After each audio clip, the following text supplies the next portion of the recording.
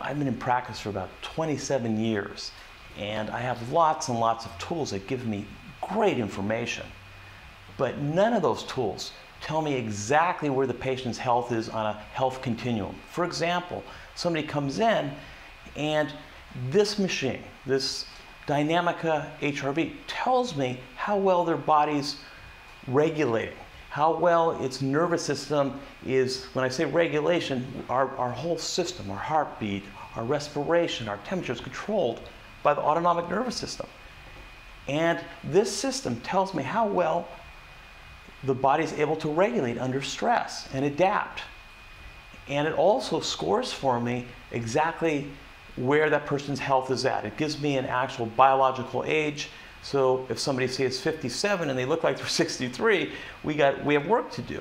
And while we're testing them and giving them nutrients and changing their lifestyle, we can look at that. We can look at that, that test that we just talked about, the Dinamika HRV, and we can see where their health is going. Are we improving it? It keeps the doctor honest, and the patients love to see where they're at at any time. So it's showing us again on that health continuum exactly where they're at. It tells me how their brain's functioning. It says it tells me how well all the regulatory systems in the body are able to regulate. And if they're not, that person's health is going to go in, a, in the wrong direction. And I wish I had this system years ago because I do this on every patient. I get a baseline reading on them. And then after I do a therapy, in just a few minutes, it's super easy, I can look again and see, well, did that therapy help them? Well, you don't have to worry about that anymore.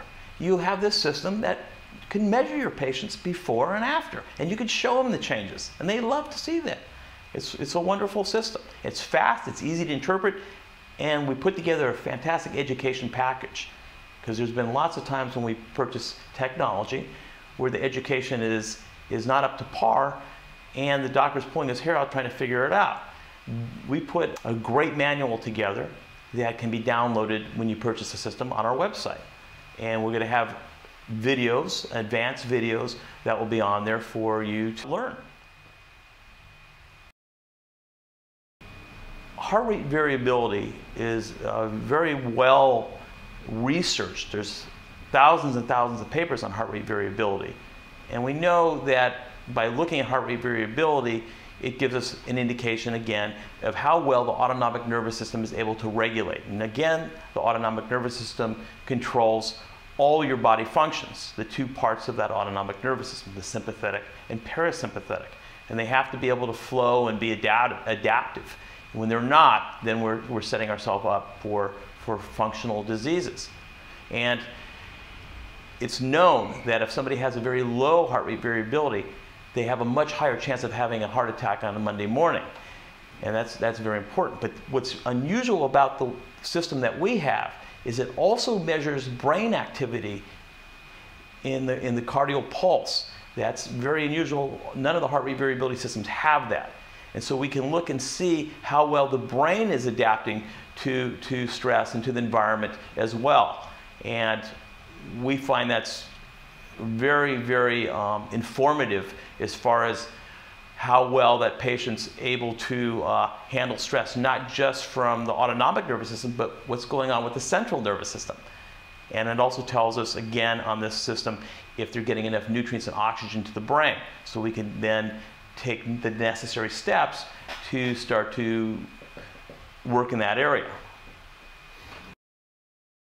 What sets this system aside from all other HRV systems is, is that it's not just looking at traditional heart rate variability, it's looking at central nervous system function, it's looking at other systems, 600 different biorhythms in the body and how they're regulating. So it's looking at a massive regulatory system, which is our body. And if you see things breaking down and not able to regulate, then you know that that person's health is going in the wrong direction. Now, on that same note, there's something in there called fractal neurodynamics.